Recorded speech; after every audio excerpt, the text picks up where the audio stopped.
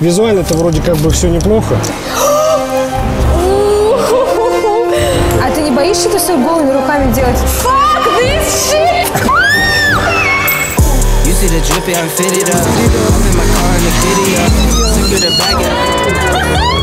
Не надо, дядя! Вложил я в нее 4 миллиона. Я купила только что яйца и влажные салфетки. Жесть!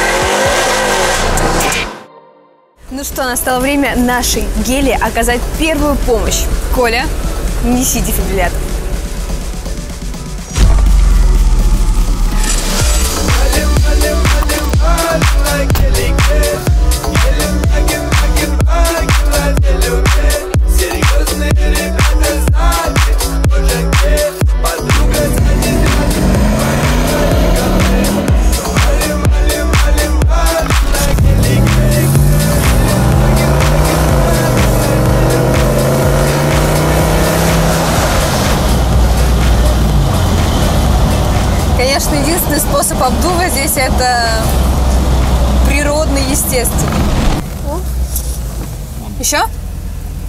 Как вам аппарат?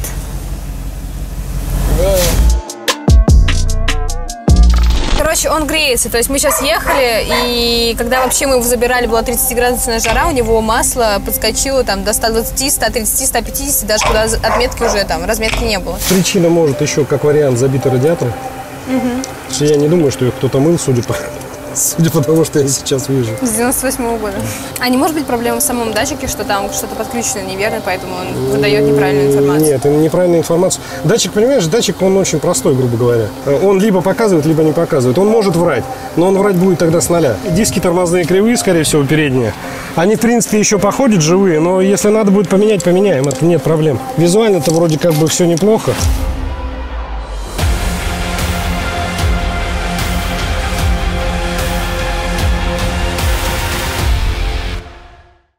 Короче, оставили тачку на полную диагностику и на оказание первой помощи. Что нас конкретно волнует в ней? На 60 км в час, если ты топаешь, делаешь кикдаун, она не сбрасывает передачу. Это странно, но это мешает ускорению. Потом она нагревается очень сильно. Нужно понять, почему она нагревается. Тормоза почему-то бьют. Какой-то диск или оба передних диска, они вообще кривые. Надо заменить еще колодки, надо сделать ход-развал, поставить руль на место. Короче, сделать все для того, чтобы эта машина в следующей серии отправилась на оффроуд. Нам это критически важно и нужно, поэтому, малыш, пожалуйста, будь хорошим пациентом. Тебя диагностировали, осталось сделать только профилактику. И тебя вылечат, и тебя тоже вылечат, и меня вылечат. One day later. Мы просто оставили машину на один день. Я думала, я сейчас буду заниматься своими делами, там, другими видосами. Но как бы не так. Мне Женя звонит и говорит, Ангелин, машина не заводится. И я просто стремглав мчусь сюда, чтобы понять, почему же машина не заводится. Давайте узнаем, почему. Опа, тук-тук, приветик. Ты сказал мне, что он не заводится. Уже заводится. Просто машина иногда не видит положение паркинг на коробке. Это проблема с коробкой. А, Нет, это не проблема с коробкой, это проблема по, скажем так, по сборке, наверное, скорее всего, проблема с проводкой и так далее. То есть, ну, присутствуют моменты проблемы везде. Тут либо менять все в купе, либо менять все по очереди. То есть э, катушки, провода, свечи и так далее. Мотор, в принципе, работает неплохо. При его 5 литрах она не едет. Красиво очень звучит, но она не Ну вот, видимо, из-за саундтрека она так классно типа едет. Да. А Ощущение, конечно, огонь. Ты нажимаешь на тапку, поворачиваешь голову в бок, она еле разгоняется. Она еле там газель догоняет. Но она должна ехать гораздо лучше, чем она едет сейчас. Ну, конечно. А как этого есть- добиться? Добиться это надо, ну, грубо говоря, разбираться. Надо и с электрикой читать. Во-первых, у него есть огромная проблема, его невозможно прочитать. Потому что э, разъем диагностической фишки просто-напросто не работает. Стоп, а как Кирилл его читал? Как Кирилл эту тачку читал? Мы Скажи тоже мне. его начали читать, потом он просто раз и перестал читаться. И поэтому он сказал мне, что там ошибок нет? Кирилл, я не понимаю, зачем подставил? нет? Он ржавенький, старенький, но читается. Пропуски зажигания чуть ли не в четырех или в пяти цилиндрах. Датчик кислорода с левой стороны до катализатора. Это ошибки. Это то, что удалось прочитать, пока он давал информацию. Поэтому Можно просто вот так вот сделать. Первично, когда сегодня он перестал заводиться, я полез уже в электрику, посмотрел, там такое ощущение, что было залито. Ну, вода, вода попадала, там, где у него блок, э, блок реле, Но он не, не был утопленником. Не, ну вроде не видно, что он был утопленником, хотя, судя по салону, он был затопленником, наверное. Затопленник. Господи, жесть какая, он так качается, это ужас. Радиатор чистый абсолютно. В каком смысле радиатор чистый? Радиаторы охлаждения грязные, их тоже на Ну, мой- радиатор, на скорее мойку. всего, грязный, да. Да. А, ну, ну Видишь, да. он чистый, видно. он светится, он соты чистый. То есть его мыть не нужно, и он а, не перегревает мотор. То есть он дает Ну, на, дан- на данный момент, ну, вот я могу сказать, за вчерашний вечер, да, там, за сегодняшнее утро, и то, что он у меня здесь стоял, молотил около часа. Вентиляторы включились, то есть все сработало. Окей, давай проедемся, чтобы я понимала, о чем ты говоришь. И потом пропишу огромный лист работ, которые нужно провести, чтобы эта машина хотя бы была нормально на ходу.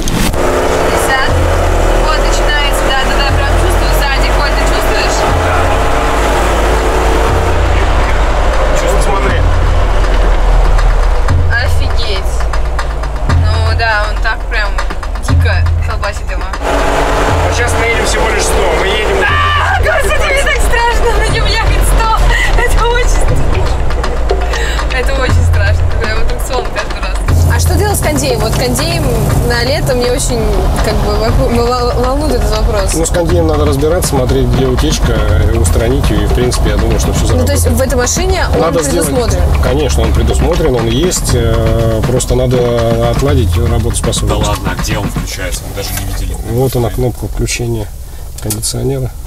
А, это кондиционер? Да, но она не работает, не активная. Может быть такое, что за вот этим вот предупреждением АБС скрывается чек двигателя? Или нет такого? Нет, не может быть. Чек двигателя это отдельная позиция. Это я думаю, что он постоянно горит, и он Нет, других э, ошибок не чек, выдает. э, смотри, чек здесь отрублен, то есть его нет. Да, это жестко. Ну, с пропусками зажигания чек должен гореть. Он не горит. То есть он загашена лампочка, да? А Ну, намеренно либо, загашен. либо выключили, ну, либо отключили программу, либо просто-напросто ее оттуда удалили. Oh, God, you love your soul. Goodness, Ron, what are you... Он отваливает. Не надо, не надо его ломать. Итак, манифестирую, что с этой тачкой нужно сделать. Первое. Передний правый подшипник ступицы поменять, ремонт рулевого управления, сход развал, ремонт кардана, устранение вибрации или заднего моста, замена катушек, проводов и свечей зажигания, тормозные диски поменять, ремонт АБС, ремонт электроповодки, кондей ремонт, замена лямбда зонда э, и ремонт замка. Пока из этого огромнейшего списка у нас выполнен только последний пункт – это ремонт замка. Что нужно сделать, чтобы тачка не грелась, а, не, не было вибраций, чтобы не убились, то есть она могла тормозить? То, что мы перечислили. Все вот это вот? Да. Но вы же хотите, чтобы мотор работал и чтобы не убились. Можно исключить кондиционер. Окей, на этой машине потом реально поехать на оффроуд? Да реально даже сейчас просто э, реально ли вернуться, Окей, а сколько это все будет стоить?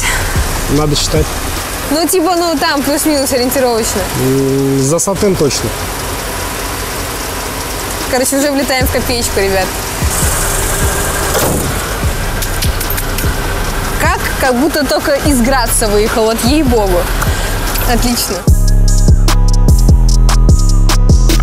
Моя гели в сервисе, поэтому я выбрала другую тачку выходного дня, и это цешка в 204 кузове. Задумайтесь, 750 лошадиных сил для этой малышки.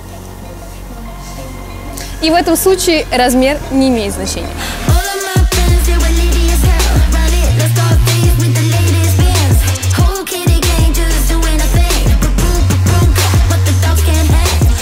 Ребят, знакомлю вас с Артуром. Он является владельцем тачки. Всем привет. Короче, Артур, сразу сходу. Как так получилось, что у тебя эта цешка, и она 750 лошадей имеет? Ну, э, я покупал ее в 2015 году еще. У меня был выбор между 205 и 204. Я очень сильно хотел 205, потому что 204 мне вообще не нравилась. Серьезно? Да, Это считал, же что- легенда, типа как М5 Е60. Ну, в М5 Е60 точно такая же легенда, как и эта. Она мне тоже совсем не нравится. В общем, Я приехал в салон, и 205 цешки были все раскуплены. Я долго-долго-долго думал, думал, думал. В итоге мне подвернулся вариант 204 цешки. У нее был очень маленький пробег. Психанул, добрался до Азиза. Я думаю, все знаете Азиза Атаева. Да, мы буквально с ним вот здесь, вот, вот на этом повороте снимали его переделанную М5 дизель, которая. Да. Азиз сказал, давайте соберем. Я говорю, ну, давай попробуем. В общем, Азиз собрал мне эту цешку. После этого она начала мне нравиться. Но она мне внешне вообще не нравилась. Мне казалось, что она высокая, она неуклюжая, у нее узкая задница. Ну, короче, было очень много нюансов. Кроме передней оптики не нравилось вообще все. Короче, not your type, как Да, говорится. вообще не мое было. Мы сделали ее с Азизом 730 лошадиных сил сначала. А, Я покатался, уже начала нравиться. Я начал потихоньку вкладывать в нее деньги. Ну, потихоньку миллионами, потому что на Mercedes Tuning все очень дорогой. Очень дорогой. Ну да, это, конечно, не BMW. Вот. Немножко лучше. Очень многие люди, кто первый раз садится в эту машину, они даже она бывает медленнее, чем многие современные машины, но в ней намного больше эмоций, чем в Ну, современных я не знаю, какая тачка медленнее там, или быстрее 40, 750 лошадей, это даже, не знаю, Тайкан, сколько в нем? 700 Не, я быстрее Тайкана. Быстрее Тайкана, это Да. ДВС, ребят, а Да. там электрокар. Тут типа есть, тут какая-то турбояма же есть. Нет, это компрессорная машина, не а, турбоем. точно. Это Да. вырезаем, Коля. Это задний привод, ты слышишь, как здесь все просто раздувается, там этот еще свист компрессора же, да, такой? Ну, у компрессоров Вайс так нет свист- свистов. Я очень сильно расстроился, потому что я покупал компрессор вообще, если честно, из-за этого воя. Я очень И сильно хотел у тебя этот поэтому, да, да? да, и СРТ мне поэтому. Вот, и тупо из-за этого воя. Я больше ничего, я даже мощности на самом деле не хотел, мне нужно было, чтобы он выл, короче. Сколько денег ты вложил в эту тачку с момента покупки? За сколько купил, сколько вложил? Что там в районе 3 миллионов рублей она стоила на тот момент. И вложил я в нее 4 миллиона. А, Это с условием того, что я что-то покупал, оно не подходило, не работало. Снимал, выбрасывал, потому что продавать я вообще ничего не умею. А, ты еще и призер Московской мили. Да. Прикольно. А это на какой тачке ты сделал? На вот этой машине я занял второе место. Офигеть. Она в идеальнейшем состоянии, так что, Артур, я не знаю, наверное, ее лучше вообще не продавать никогда, пусть она достанется твоим детям еще, как дань уважения Мерседесу. Но это один из самых любимых кузовов. Если бы я променяла свою М5 E60 на какую-то тачку, это была бы вот именно такая цешка. К моему стыду я подумала, что это керамика, но на то есть свои причины, потому что по внешним данным очень похож диск тормозной на керамику. Но это, оказывается, всего лишь навсего полторы тысячи километров на треке Да. или просто... Нет, вообще просто диском этим полторы тысячи километров. Очень серьезные лепестки. Как я понимаю, это что, алюминий?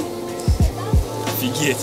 Просто они огромные. Ты можешь вот так за них ухватиться и просто вот так вот ими рулить, реально. Здесь перфорация, руль он перешивал. Красная строчка, все под стиль салона. Вот эта консоль, я ее видела, наверное, еще в тачках 11 года мерседешных. Она просто не менялась вплоть до 18 года. Вот 7 лет подряд они пихали одну и ту же консоль. Обратите внимание на этот маленький, масенький мониторчик. Хотя, в принципе, наверное, монитор здесь иметь опасно, потому что чем меньше ты отвлекаешься на какие-то посторонние штуки, тем ты будешь безопаснее. Артур, а что тебя чек горит?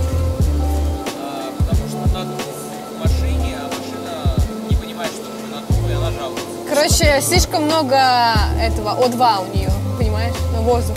Это та эпоха Мерседесов, у которых под капотом скрываются реальные 6.3, а не те 4.8, которые сейчас есть, допустим, в геликах. Типа, о, мы там 6.3, но у нас почему-то 4.8. Вот это реально огромный, громадный, блин, просто межгалактических размеров мотор. Это вот круто, и это ощущается даже в звуке. У него такой звук, типа, Давай, О, пацаны, может, их прокатим? Ребят, а вы когда-нибудь катались на 700 там лошадиных силах? Да только на э, Кадиллак, да. Кадиллак? Да. Казинак. Казинак.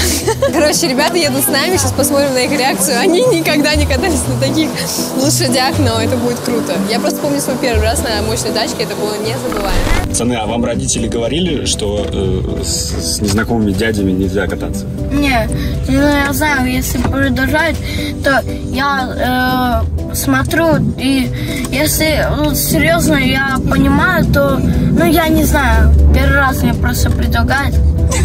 Я не знаю, просто то так, то так. Запомни раз и навсегда, это мы хорошие и добрые. А если попадутся нехорошие и недобрые, они могут а, вас украсть. Поэтому в следующий раз лучше не катайтесь.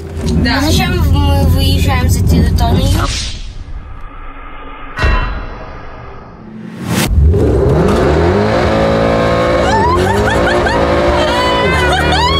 Не надо, дядя! Нет, это ж такая шутка, я знаю. Это в ТикТоке он видел.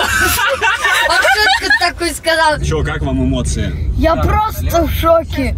У меня ноги трясутся. В машине так же У меня сейчас сердце, если еще раз будет, еще раз будет такой звук, у меня сейчас сердце выбьется. Ну, Вообще. прикольное ощущение? Да. Вас прям вжимает в сиденье, да?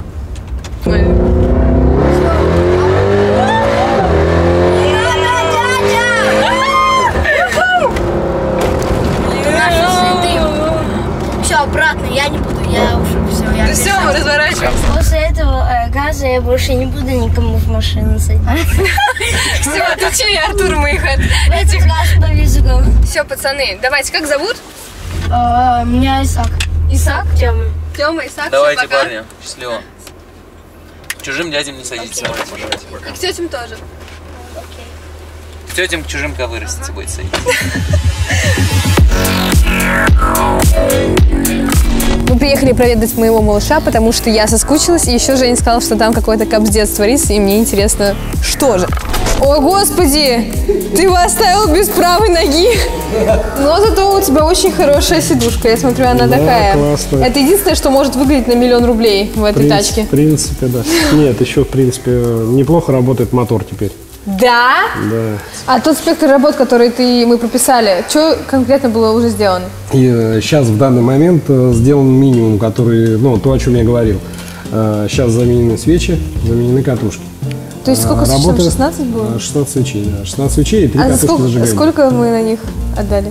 За сколько за свечки отдали? Да. Ну, что-то там 20, ну, за 20. 20 копеек. Ну, это нормально цена? Абсолютно. Не, можно больше отдать. Нет, не За хотим оригинал. больше. Больше не хотим, не надо нам больше. Типа, что- что- Чтобы ты понимала, это как бы вообще чип. Потому что расскажи, сколько стоит оригинал. Ну, оригинал порядка 4 тысяч за свечу. Их 16. 64 тысячи бы получилось. 64 Ну, тысячи. по- Получилось бы, да. То есть это получается в три раза дороже, чем вот Офигеть. Знаешь, я как будто пришла такая, я к бате просто пришла так, что, что еще было сделано, а что еще? Ну а дальше что? Дальше со ступицей разбираемся. Когда сняли ступицу, соответственно, увидели, что был порван пыльник шуза. Вот шуз лежит, ну, полоси. Вот он уже отмытый. Жесть. Он просто в мясо. Я, походу, его реально к зимовке готовлю. Знаешь, это готовь к сане летом, Да, телегу зимой. а телегу зимой. Вот. Недаром меня моя бабка учила, у меня бабки никакой не было. Ну ладно. Мы гадаем, что за дырка еще одна? Тут должен быть, ну точно не динамик, здесь есть спортроник, вот в таком виде.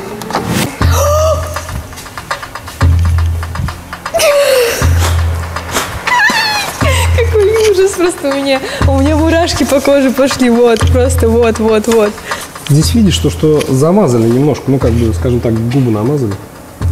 Не особо сильно. Губы, губы помазали. Кому? Какие губы? Гелику намазали губы, чтобы он хотя бы более-менее выглядел. Зачем ты швабру несешь? Вверх. Жень.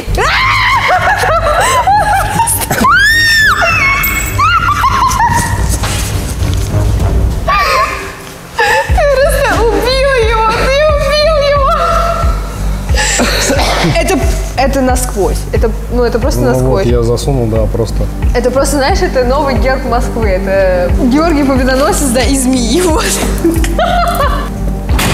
Я думаю, надо делать. Можем оставить там швабру.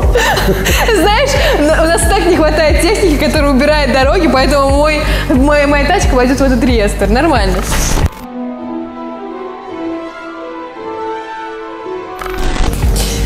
Такие у нас будни. Вот такие у нас будни починки гелика. Вот почему я по нему скучаю. Я уже жду, когда я смогу забрать его из сервис. Fuck this shit! Это просто, это огромное, нескачаемая дырень. Это просто бермудский треугольник, овал, бермудский. Я боюсь Не надо, ну блин, мне же с этим ездить, Жень. Как же с этим Мне не нужна такая. То есть тут металла-то практически нет. А что все мне с- руками ра- А что мне с этим делать теперь? Варить. Может будет свистеть, пока я буду ехать? Будет свет продувать. Ну, кондиционер не нужен, будет прохладно, хорошо. Не хочу так. Можем сделать самодельные металлические коврики. Это как? Как у Вазики, Вырезать- что ли? Как у вазики. Вырезать куски алюминия, положить на пол. Что, Когда великий Вася говорил, что я купила УАЗик, оказывается, он просто был вещим Олегом. Просто когда ты ехал, подумали, что это УАЗик. Балка задняя. Оторвал пальцами от нее кусок. А ты не боишься это все голыми руками делать? Это же, не знаю, заразиться можно чем-то. Он просто... Вот что ты подразумевал, когда говорил, Ангелин, здесь пипец настоящий. Но вот, Ангелина, если ты на оффроуде где-то застрянешь, за задний фаркоп тянуть тебя нельзя. Я боюсь, что его оторвут. Он не держится вообще. Не, он держится хорошо вроде как, ну, так, но если тянуть машину, весь его вес, я думаю, что он оторвется. Ну окей, а поработаем, сколько еще нужно ждать, когда я смогу на нем выехать уже? Но, Ангелин, если ты хочешь очень быстро закончить ремонт, то, наверное, тебе придется ездить,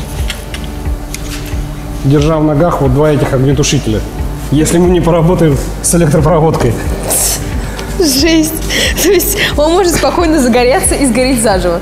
Да, может быть всякое. Короче, ребят, теперь вместо сумочки я буду носить у себя вот, огнетушитель. Пора научиться им пользоваться.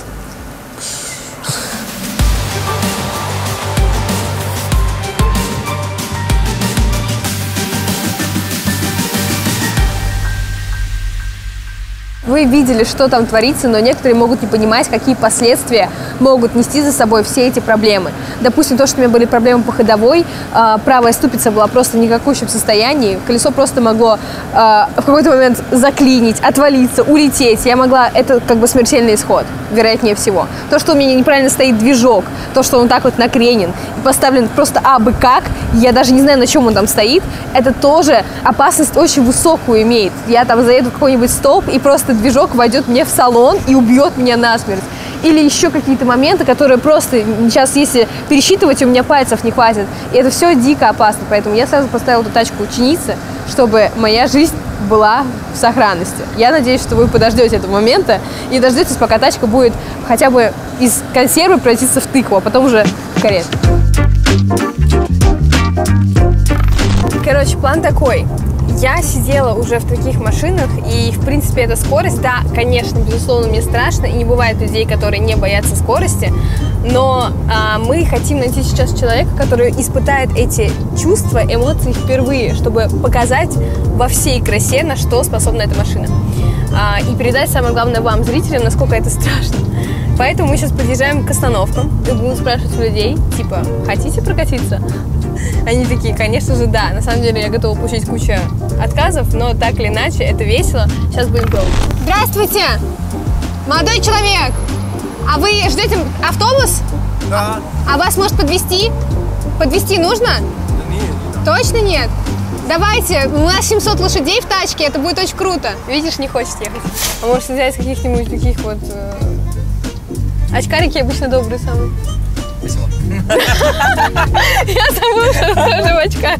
Я Просто словила джекпот. Ребят, ребят, хотите прокатиться на 700 силах? Что-то у них реакция какая-то странная. Ребят, привет, не хотите э, прокатиться на 700 силах? Нет, спасибо. Точно? Точно. Это очень мощная тачка. Спасибо огромное. Все, окей. Хорошего дня. И вам хорошего дня. Че? Не, они странные, типа они не покатят. Добрый день! Как вам машина? Мощно выглядит? А хотели бы прокатиться? Нет? Хорошего дня! Ну, ты, блин, это просто предложение. Попробуй говорить. Уговорить было, да ты что, она, Скажи, блин... там, вам немного осталось. Надо жизни все. Че, Артур, слушай?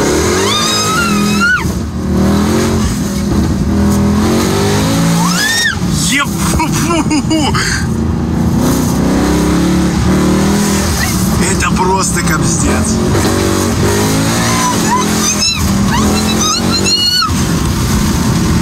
Никто не садится. Легче просто продать реально этот, легче продать букет, чем посадить кого-то в цешку. Покатит на 500 рублей. Можете купить на за 100 рублей своей девушке прекрасной? У нас нет наличных, но можем на карту перевести.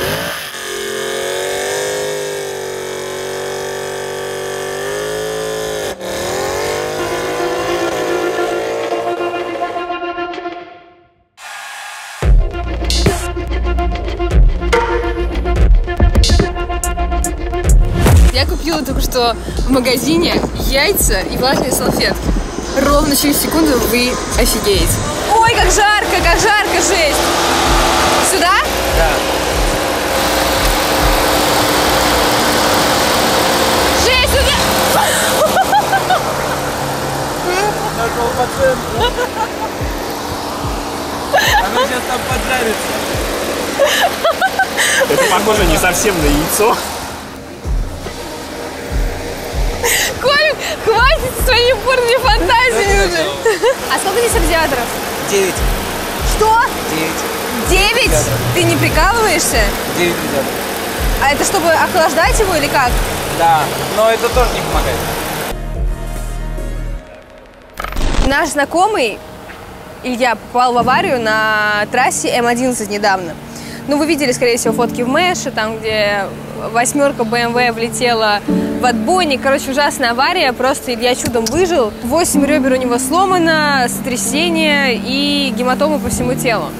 Вот, но он мне сказал одну очень грамотную мысль. Задумайтесь, на чем стоит машина, на чем она вообще прикреплена к э, асфальту. У нее есть, соответственно, четыре колеса покрышки, и каждая покрышка, она имеет соприкосновение с асфальтом где-то, ну, 4 сантиметра.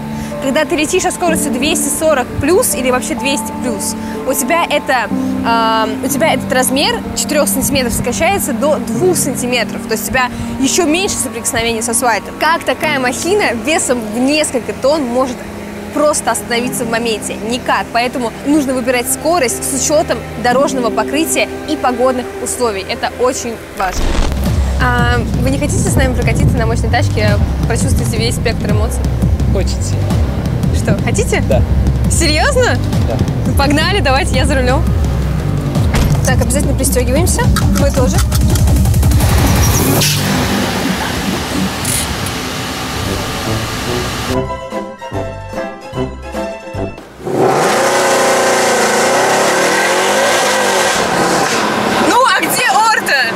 Наложить? Я не умею.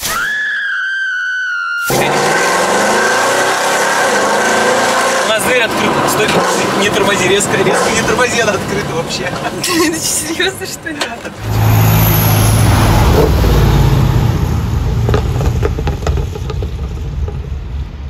Ну что, не было ни одного человека, я, блин, кого не просила, все на отказ идут и на попятную, блин. Пришлось вот Артура. Все боятся меня. Поэтому Конечно, блин. Я взял вину А ты не мог побольше эмоций выдать там хотя бы? Он просто, Артур такой, я говорю, кричи. Не могу я кричать? Ну кричи. А! «А!» Это что такое? Вот такой ролик, ребят, получился. Я просто не ожидала от этой цешки таких эмоций. Она точно не та, за кого себя выдает. Вот она настолько же быстрая, насколько мой гелик ржавый. И спасибо большое Артуру, что дал прокатиться. Это нереальные эмоции. И я надеюсь, что вы заценили наш юмор. Мы старались. Вот. А что насчет геля? Я очень надеюсь, что геля скоро выйдет с э, просторов сервиса, и мы сможем на ней нормально так пожиганить. Но, конечно, если вы хотите это увидеть, то нужно обязательно подписаться, поставить палец вверх написать комментарий. И эта комбинация поможет мне двигаться с мотивацией дальше. Пока-пока.